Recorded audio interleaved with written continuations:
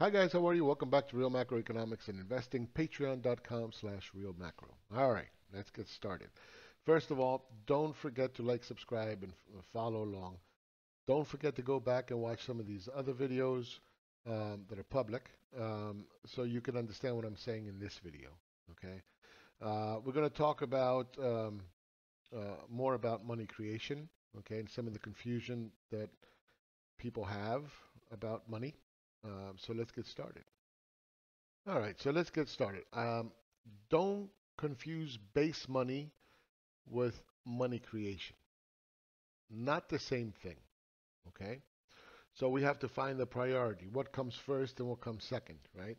So money creation, as we talked about in previous videos, is a creditworthy borrower uh, taking out a loan that creates a deposit. When spent, okay, that uh, creates income, profit, and savings.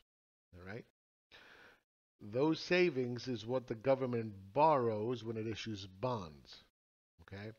And then when the government borrows those dollars and spends them back into circulation or into the economy, all right, it creates money again because you're still going to have a liability and an asset, right? Loans create deposits.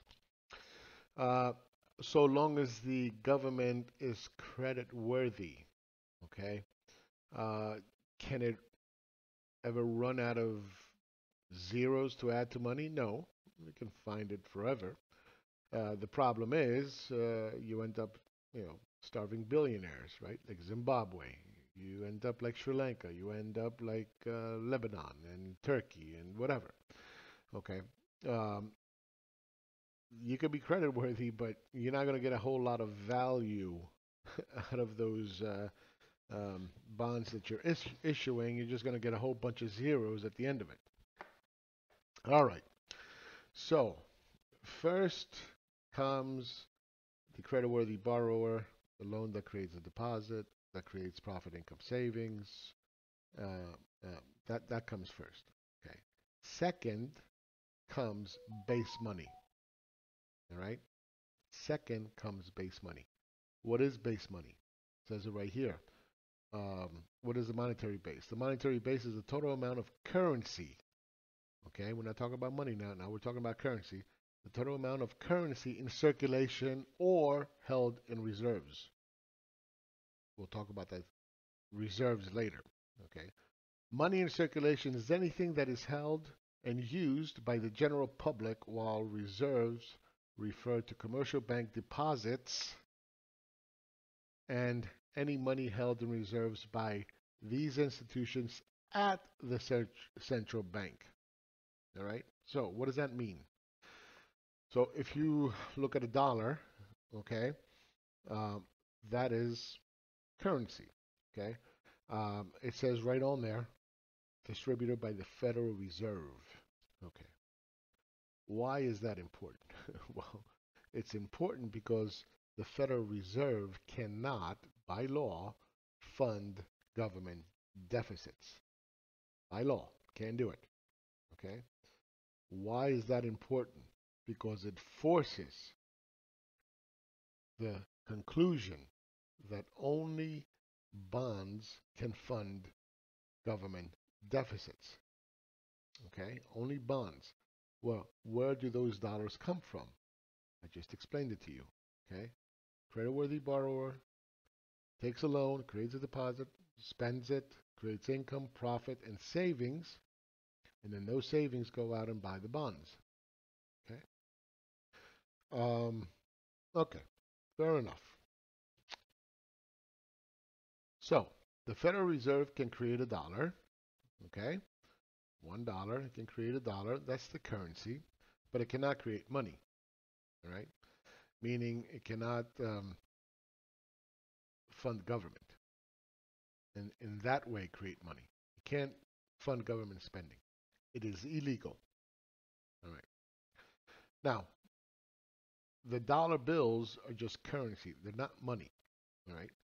Um, so unless you have savings in a bank, you go to a bank teller or you go to an ATM, you can't pull out a dollar.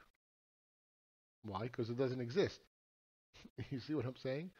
Now the Fed can sit there and print up gazillions of dollars, have them all ready to go, okay? But the, if there's no credit in your savings account or checking account or whatever for you to withdraw from, a dollar cannot exist. I don't care how many trillions and gazillions of dollars the print has all ready to go, right? You gotta have money creation first.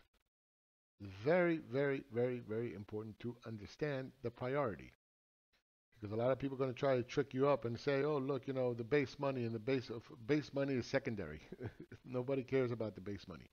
I mean, they do. And if you're if you need a dollar and you go out, you know, go buy a candy or something, but that's not money creation. Okay?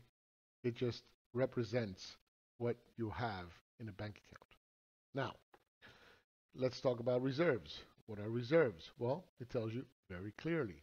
Reserve is money, dollar bills, okay, held in reserves by these institutions, meaning banks, okay? And where do those banks uh, store those dollars, those uh, current that currency, right? At the central bank. All right. So reserves are savings of the private sector. That's all reserves are. They just call them reserves because that's the money that interbanking uses. All right? But you cannot have a reserve without a deposit. that's just not, not going to happen. All right? So, very important because a lot of people get confused. They'll, they'll jump from base money and then they'll go, well, you know, reserves. Well, reserve is base money, and reserves are just currency. They're not money, not money creation. Um, well, you use reserves in order to uh, buy a bond. Well, yeah, you use a deposit because that's what a reserve is. You use that deposit to buy a bond, right? But who's buying the bond? The private sector is. You see? So uh, it's very important to understand these. Warren Buffett has deposits at a bank, and that bank has deposited his billion dollars in an account that the institution, the bank, has at the central bank. Okay? And he's just sitting there. And then if Buffett wants um, uh, to buy a billion dollars worth of bonds, then he, they exchange those uh, deposits of million dollars or billion dollars into bonds. That's it. It's not the bank that is buying a billion dollars worth of bonds. It's Buffett. The bank is the intermediator. Okay, they facilitate the transaction on behalf of the private sector. Very important to understand. So a lot of people get very confused with that as well. That it's the bank that are buying the bonds. New, it says it right there. Reserves are deposits. Money held in reserves by these institutions at the central bank. All right? So I hope that clarifies a lot. We'll probably be talking a lot more about this. Um, write down your comments below. Don't forget to click like and subscribe uh, and follow along. We'll talk a lot more about this stuff, but I want to give you a general overview of uh, understanding some of the complexities that you're going to hear from disinformation, that base money comes before money creation and, and so forth, and reserves come from the Fed, not from private sector. You're going to hear a lot of nonsense, but I want to clarify them, and we can take them one by one um, in future videos. All right, guys, take care. Uh, have fun. Talk to you soon. Mm. Ciao, ciao.